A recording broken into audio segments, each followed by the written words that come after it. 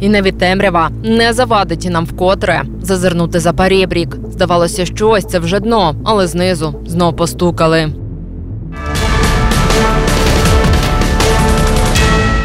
Отакої жаба гадюкінг, де не чекали. Серед російських пропагандистів почались серйозні скандали. Спочатку пропагандист Сатановський обізвав Марію Захарову. Вот Маша Захарова, которая, в принципе, евреев не особо-то любит, а Израиля терпеть не может.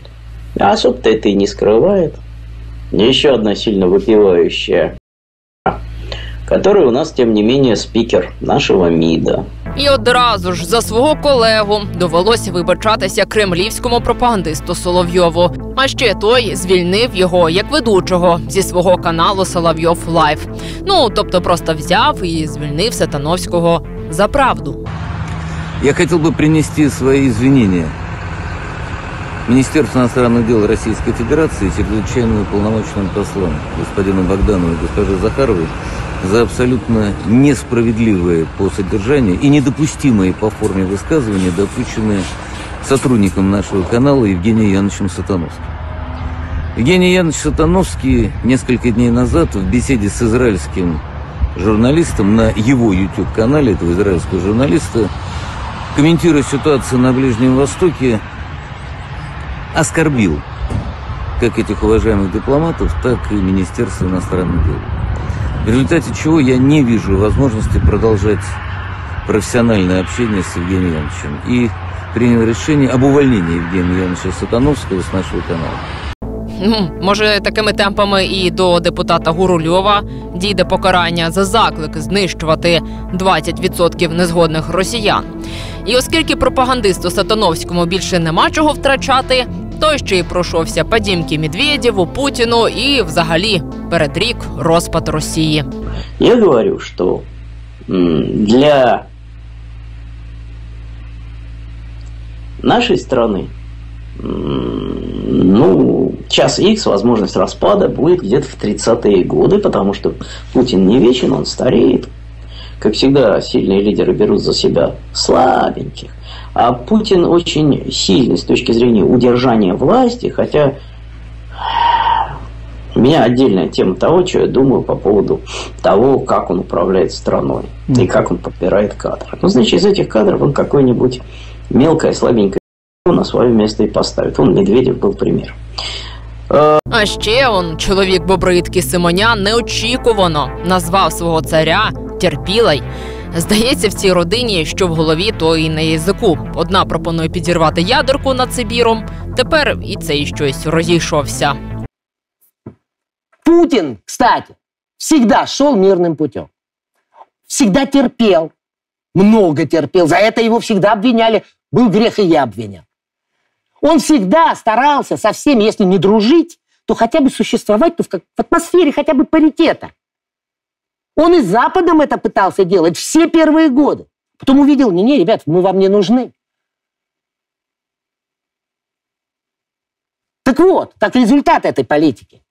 Сейчас у них там полный ад на Ближнем Востоке, потому что все было подменено американцами. Договоренности, все было, решили кого-то купить.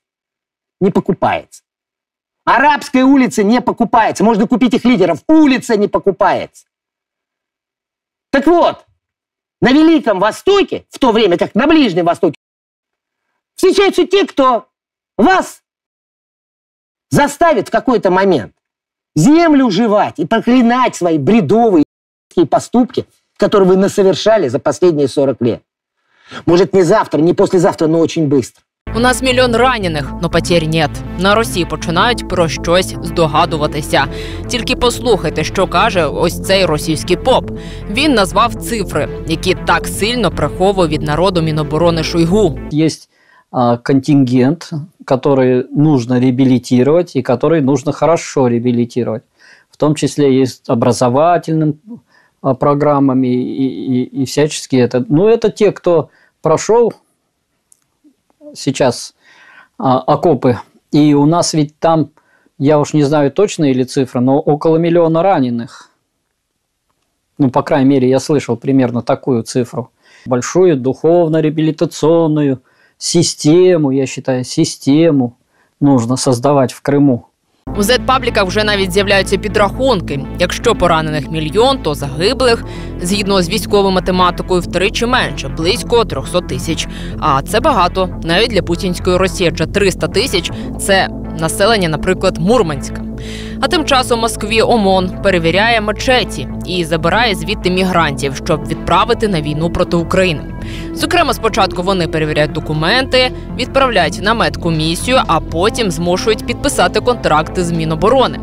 Так трапилося із фіналістом одного із музичних шоу на російському каналі кримчанином на ім'я Мамут Усеїнов. Ребяточки, всем привет. Вчера со мной произошел такой случай. Я был в мечети на пятничной молитве, и после того, как все закончилось, меня забрал ОМОН в военкомат в город Люберцы. А Там я прошел медкомиссию, и затем отправили на распределение в город Балашиха. Сейчас пока я здесь нахожусь. Вот такая вот обстановка. Никаких контрактов, ничего не подписывал, жду комиссию, после этого буду все решать. Ось така вона мобілізація на Росії. А Ось е, подивіться на зет воєнкора Сладкова. Той показав секретну російську зброю. ребята, тувинцы. Их называют говорящие с ветром, как племя Чероки в известном фильме. Но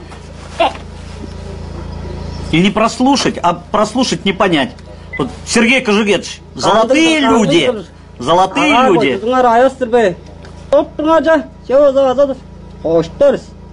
Язык красивый, ну реально. І поки кремлівські недоексперти закликають сильніше бомбардувати Україну, пропагандист Попов встиг засумніватися у силі второї армії міра. при каждом боевом применении э, украинской стороной ра- ракет атак с- с нашей стороны должен быть такой ответ, чтобы у них появлялось сомнение в целесообразности применения ракет Чем? этого типа. Но у нас есть достаточно сил и средств. Более того, Ну например, какие, Михаил Михайлович? э, Во-первых, те же Такой ответ, который посеет сомнения, это что за ответ? Это крылатые ракеты воздушного и морского базирования. Это оперативно-тактические ракетные комплексы «Искандер». Так мы же применяем все это. Евгений, сколько мы раз с вами говорили? Вопрос не в применении оружия, вопрос в количестве, в массированности и внезапности его применения. И только вот тогда, когда в целях, и в целях. совершенно абсолютно правильно. Одно дело, например, если э, планирующий боеприпас там весом 1500 килограмм попадет в ротный опорный пункт или батальонный район обороны, это одно. А если он попадет в какое-то такое чувствительное место, что действительно возникнет вопрос, ну мы сейчас не будем называть эти чувствительные места, они есть, есть. И тогда, и тогда возникнет вопрос, что-то мы, наверное, не так делаем. Мы вообще э, вот по э, украинским частям, соединениям, которые действуют в той полосе, где применяются, например, эти ракеты, сразу после применения надо наносить удар такой силы. Это не потому, что я кровожаден там или размахиваю шашкой там и так далее. Но дело в том, что ну, вооруженная борьба-то по-другому не ведется. Или они тебя, или ты их. Вот так же стоит вопрос-то. І наостанок, ось так на російському маркетплейсі почали продавати шапочки, які нібито захищають від різних радіохвиль. Продавці запевняють, захищає від усього, навіть від хвиль 5G, яких у Росії немає. Оце прогрес. А раніше просто фольгу під шапку підкладали. Знаете, просто взяли лист вот такой фольги, сложили его там два раза. Я обычно делаю блестящей стороной на внешнюю сторону. Вот так вот сложили, сделали себе такую корону и одели. И вот так ходите. На самом деле даже телефоны, да, были эксперименты, когда телефоны э, делали в 2-3 слоя, и сигналы не проходили. То есть она реально работает. Головную боль снимает, выравнивает биополе, то есть это защита. У кого давление есть, закрытый вот тут верхотурой. У кого давление нормально, то, соответственно, вот так можно вот закрыть и посмотреть. Ну, все индивидуально. Берите, смотрите одной стороной, смотрите, как потом другой стороной. То есть вот я приблизительно вам показала. То есть это вот так самое простое. Да, и ходите.